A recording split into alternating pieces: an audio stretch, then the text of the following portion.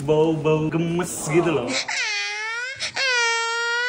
5 minyak telon, 4 aspek, ayo kita adu.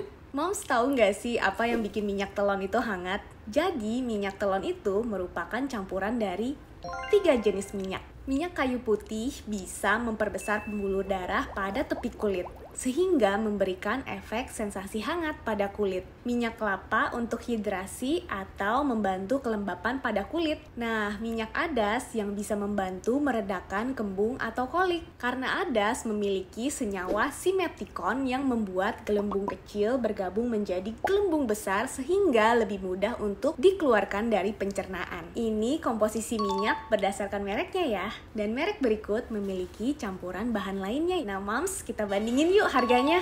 Kita survei 50 orang. Ini enak, soft gitu. Bayi-bayi baru lahir pakai ini.